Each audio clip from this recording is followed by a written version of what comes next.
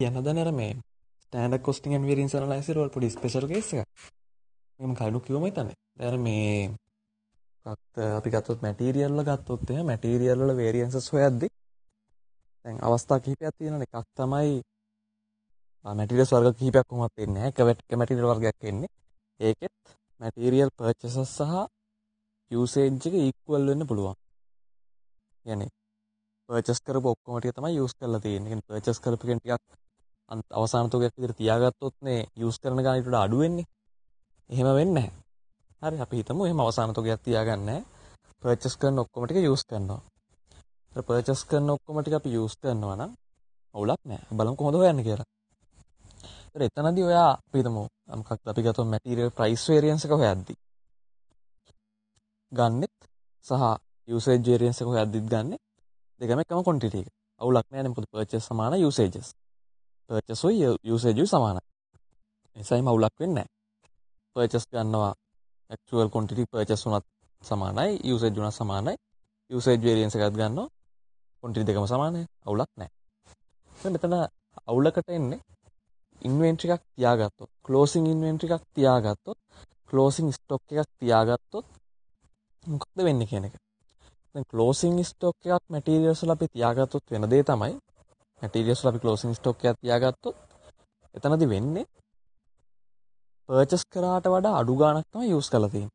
Perches කරපගෙන ටිකක් අවසාන තුගේ විදිහට තියාගෙන ටිකයි අපි යූස් කරලා තියෙන්නේ. එන්නේ පර්චසස් සහ යූසේජ් අතර වෙනසක් ඇති වෙනවා. හරිනේ. එතකොට එහෙමනොත් ක්ලෝසින් ස්ටොක් එකක් ඇති වෙනවා. හරිනේ. ඒ සාමාන්‍යයෙන් සාමාන්‍ය තත්ත්වයන් යටතේ අපි කරන්නේ මෙහෙම. අපි කරන්නේ ප්‍රයිස් වේරියන්ස් එක අපි ගන්නවා පර්චස් කරපු ප්‍රමාණය මත. මොකද මිලදී ගැනීම කරන වෙලාවනේ මිල ගෙවන්නේ.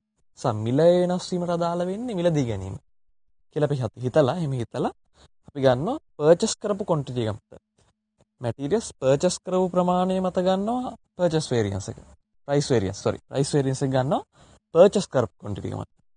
ඊට පස්සේ දෙවනුව යූසේජ් වේරියන්ස් එක ගන්නෙ යූස් කරපු ප්‍රමාණය මත. කොහොමත් යූසේජ් වේරියන්ස් එක කොහොමත් යූස් කරපු ප්‍රමාණය මත තමයි. ඒක කොහොමත් අප කතාවක් නැහැ. යූස් කරපු ප්‍රමාණය මත තමයි ගන්නෙ. හරිනේ. එතකොට දැන් ඕක තමයි සාමාන්‍ය කරන දේ.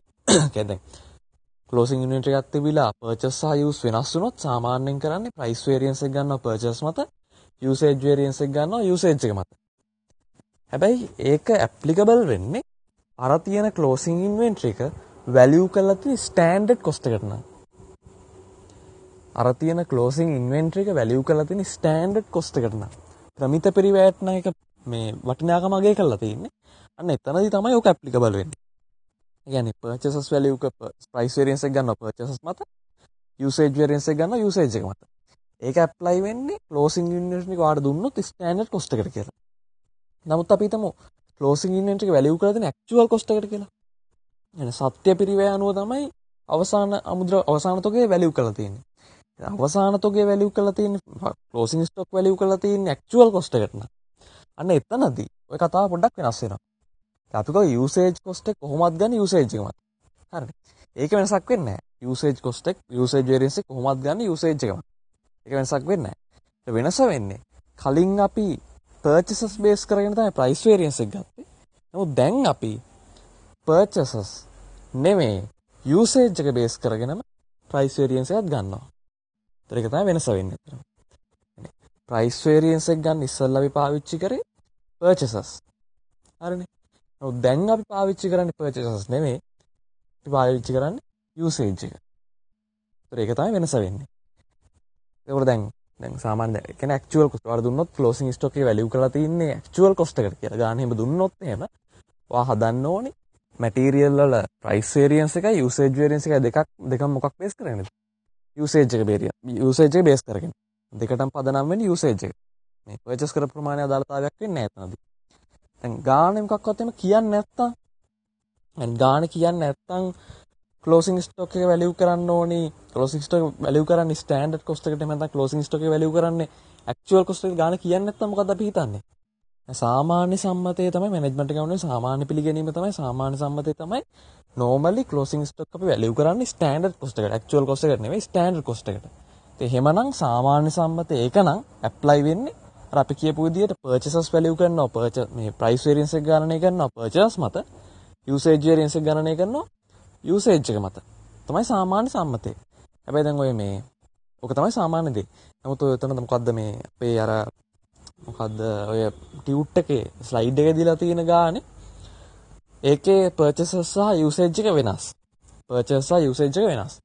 නමුත් ඒක කියලා නැහැ. නිශ්චිතව කියලා නැහැ මොකක්ද අපි use කරන system එක කියලා. අපි use කරන්නේ මොකක්ද ස්ටෑන්ඩඩ් කොස්ට් එකද වැලියු කරන්න ක්ලෝසින් ස්ටොක් එහෙම නැත්නම් ඇක්චුවල් කොස්ට් එකද ක්ලෝසින් ස්ටොක් වැලියු කරන්න කියලා නිශ්චිතව එහෙම ඩෙෆිනිට්ලි කොහෙවත් කියලා නැහැ. හරිනේ. ඒ ගානේ කොහෙවත් කියලා නැහැ මොකක්. නමුත් ඒ ගානේ පේනවා වාට බැලුවට පස්සේ 8.2 කියන ස්ලයිඩ් එකේ තියෙන ගානේ direct materials purchase කරලා තියෙන කිලෝ 125000යි use කරලා තියෙන issue to production තියෙන 105000යි. ඒතර එහෙම වුණාට පස්සේ වාට ප්‍රශ්නයක් එනවා මොකක්ද පර්චසස් යස් කරන්න එහෙම නැත්නම් යූසේජ් එකද යස් කරන්නේ ප්‍රයිස් වේරියන්ස් එක ගන්න කියලා. මොකද යූසේජ් වේරියන්ස් එක ගන්න නම් කොහොමද යස් කරන්නේ යූසේජ් එක. ප්‍රයිස් වේරියන්ස් එක මොකද්ද ගන්න? එම් ප්‍රශ්නයක් එනවා. එතනදී ඔයා බලනවා ගිහිල්ලා මොකද්ද ස්ටෑන්ඩඩ් කොස්ට් එකට වැලියු කරද නැත්නම් ඇක්චුවල් කොස්ට් එක. ඔයවත් එහෙම ඩීටේල් එකක් දීලා නැහැ. එහෙමනම් සාමාන්‍යයෙන් අපි කරන උපකල්පනය තමයි ඒක ස්ටෑන්ඩඩ් කොස්ට් එකට. සාමාන්‍ය අපි කරන උපකල්පනය තමයි ඒක ස්ටෑන්ඩඩ් කොස්ට් එක වැලියු කළා කියලා සලකලා යූසේජ් වේරියන්ස් එක ගන්නවා යූසේජ් එකට. ප්‍රයිස් වේරියන්ස් එක ගන්නවා පර්චේස් වලට.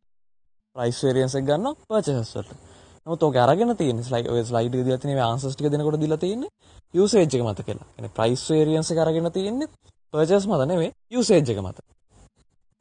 ඒතර දැන් ඕක ප්‍රශ්නයක් තියෙනවා. ඔක ඊට පස්සේ මම ඇහුවා අතන ලෙක්චර් එකේ ඇහුවා.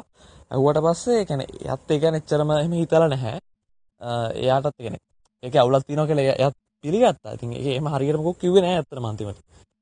ඉතින් මම හිතනවා එච්චර දුරට ඔහොම එන එකක් නැති වෙයි කියලා. නමුත් සාමාන්‍ය දේ නම් අරක තමයි. සාමාන්‍ය දේ නම් අපිට ගාණ කියලා නැත්නම් කොහෙවත් අපි හිතන්නේ ක්ලෝසින් ස්ටොක් එකේ වැලියු කරන්නේ ස්ටෑන්ඩඩ් කොස්ට් එකට කියලා. ඉතින් මම හිතන්නේ ඒක නැච්චර එහෙම එච්චර ලොකුට කන්සිඩර් කරන්න යන්නේ නැහැ. එහෙම ආවත් ඒකට මට හිතන දින ලකුණු දෙයි කියලා. කොහොමත් අපි හිතන්නේ එහෙම කියලා නැත්නම් ක්ලෝසින් ස්ටොක් එක වැලියු කරලා තියෙන ස්ටෑන්ඩඩ් කොස්ට් එකට කියලා නැත්නම් මම කියන්නේ කියලා නැත්නම් ස්ටෑන්ඩඩ් කොස්ට් එකට එහෙම නැත් එහෙමනම් ප්‍රයිස් වේරියන්ස් එක පර්චේස් මත යූසේජ් වේරියන්ස් එක යූසේජ් එක මත